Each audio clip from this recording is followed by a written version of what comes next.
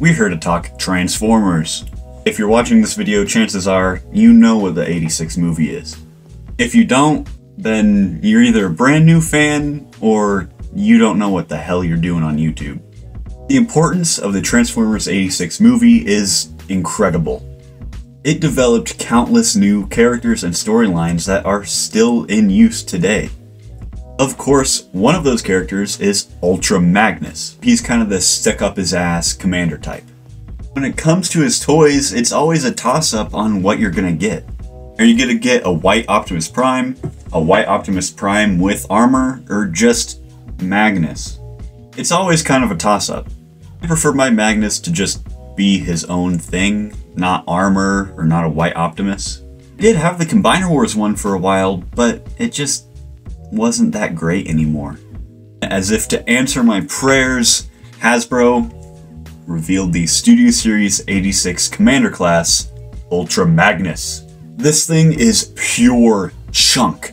Unlike some of the other smaller commander classes we've gotten, this one really looks and feels worth the money. This ratchets are nice and loud.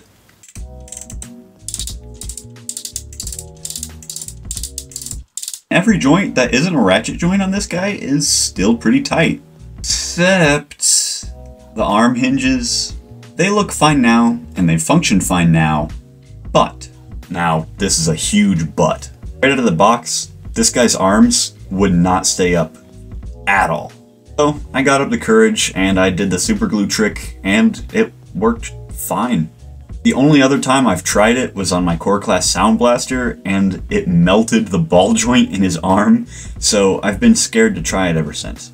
I just hope that it stays intact long enough, maybe like another year or two. If one of you guys know how long super glue lasts on action figure joints, just let me know in the comments. Either though this guy is absolutely massive and hunky, he poses like a charm. You can untab this little red thing right here, and that gives you an amazing butterfly joint. Of course, how could I talk about this figure without bringing up the posable fingers? A feature introduced by Siege Jetfire a mini 5 years ago really, really helps this guy out. These are probably some of my favorite articulated fingers in my collection. Other than just your standard Voyager size figure with them, or a leader class figure with them, or even HasLab Deathsaurus, his pointer finger is individually articulated, and the other three are all on the same hinge. Of course, articulation is nice and all, but really the deciding factor on if you want a figure or not is the look. And Bay, oh, oh boy, this thing looks fantastic. All of the nice smooth angular details on this guy really, really pop here. A lot of his area is smooth and very clean looking, but then it's all broken up with this beautiful amount of sculpt and paint. I really, really love the vent detail on his chest. The blue on the inside of the leg is kind of weird to me because I thought it was supposed to be white, but it really doesn't matter. And of course, how could I ignore the shoulder pylons? Yeah, they look pretty good. They're, uh, ultra magnusy. Oh, please, that's not what I'm talking about. I'm gonna talk about the head sculpt. This might be one of the single best head sculpts in all of Transformers toys. You have the very pronounced cheekbones and lips, the very stern, hard-ass expression, and how could you not love the crystal clear light piping? Holy moly! I feel like I could just take a dive right into his eyes and swim around. And I know nobody else is going to care about this detail, but I did because I've watched the 86 movie a hundred times. I really enjoyed that they painted this bit here silver. They didn't have to, but they did. If this was just how he was, as is, I'd be pretty okay with it. But he comes with a lot more. The missiles on the shoulders are just that, missiles. You can actually take the missile bit out, and he comes with, personally, my favorite of the blast effects. Just take it apart, and bada bing bada boom, you have this amazing looking firing display. And of course, you can reconstitute all the blast effects. Not only does he come with the big one, but he also comes with two extra of the tips. And these just so happen to fit perfectly into the included guns. You get a big one and you get a small one. The small one is actually really cool. It's not exactly what I envision when I envision Ultra Magnus, but it works. I really love the detail on it, and the rose gold slash kind of silvery paint job really helps it pop. And pretty much same with the big one. Amazing sculpting, amazing paint apps, just one thing is kind of odd. Both of them are just cast in clear plastic, which actually I like. And I'm only saying I like it because Hasbro wasn't dumb like they usually are. They actually took it a step further and put these pegs in the gun that are just solid plastic. The guns can be translucent plastic without the worry of the handles breaking. And if you so choose, you can put the guns on his back. And of course, how could I forget one of the most important features of this figure? Untab these, and then untab the chest. Lift it up and he has a spring-loaded matrix chamber. I really love all the techno detail inside of this chest. It's so cool looking and sci-fi and retro. I ah, it just tingles my brain. Of course, you can take the matrix out.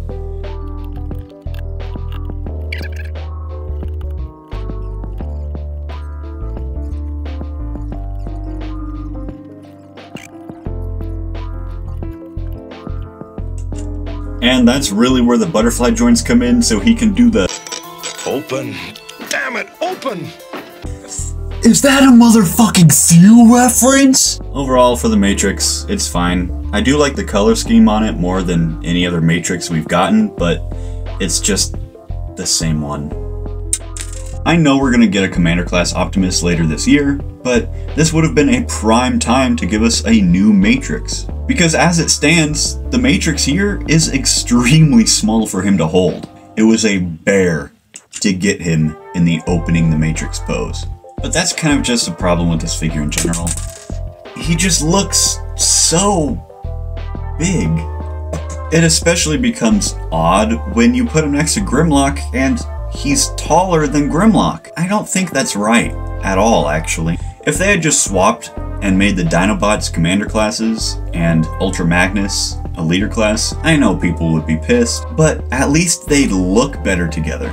It's not that big of a deal. They're both amazing figures, but it's just something that slightly irks me. But other than Grimlock, I think he fits in with everything pretty much perfectly. And of course, before we get into the transformation in alt mode, we know what we have to do. Look. To be, or not to be. I don't know. Uh, I'm not really a Shakespeare person.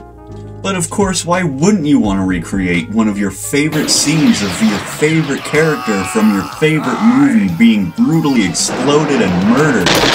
Fun! For everyone! I actually kind of find it funny how two figures so far in the Studio Series 86 line just fall apart as a gimmick. And that's really all I have to talk about with the robot mode, so let's just get into transformation, shall we?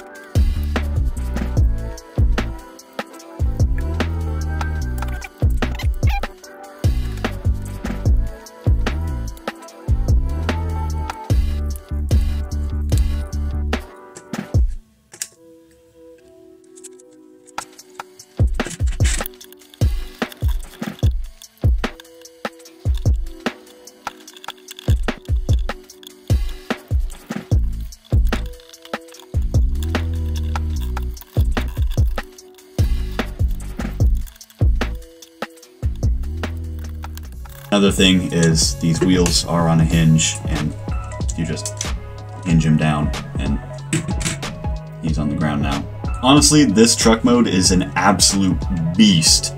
The car corral is huge and amazing. I love how long and big it is. I love that it can actually hold cars, unlike the Siege and Kingdom versions. And oh no, parts forming. I say this in almost every single video. Nobody cares if it's a parts former. And if for some reason you do care about parts forming, grow up They're Transformers toys. They parts form in the cartoon. This is probably the best mainline Ultra Magnus Alt mode we've ever gotten. And please, Hasbro, give me a new kickover. Sadly, there doesn't seem to be any weapon storage I found for the guns, but I could be wrong. I overlook a lot of things. It rolls pretty well, so that's gotta be worth something, right? One of my favorite features is actually one that I know pisses people off. The parts forming. I love that you can have the cab and the trailer separately. It's something that just makes so much sense to me, but they haven't done it yet. Great job on Hasbro's part for that. Outside of just repeating what I said for robot mode, like the sculpt and the paint is nice, there's not much to talk about. So, let's get into my final thoughts. Oh, overall, what do I think about this figure? I think it's downright perfect. This is the Ultra Magnus of my dreams, and the Ultra Magnus I've been wanting since ever. The Siege one was a massive disappointment. The Combiner Wars one was just mid, Kingdom one was basically just the Siege one, but this one, it's new. It's very full, it feels hefty, it's nice and chunky. It doesn't feel hollow and crappy like the Combiner Wars one. It doesn't feel loose and fiddly like the Kingdom or Siege one. It's just a downright solid figure. Of course, there is the issue I had with the shoulders that I already fixed, but it's still an issue nonetheless, and I can't ignore it. This figure, honestly, puts the Ultra in Ultra Magnus and Commander in Commander class. I cannot be happier about that. I highly, highly recommend this guy.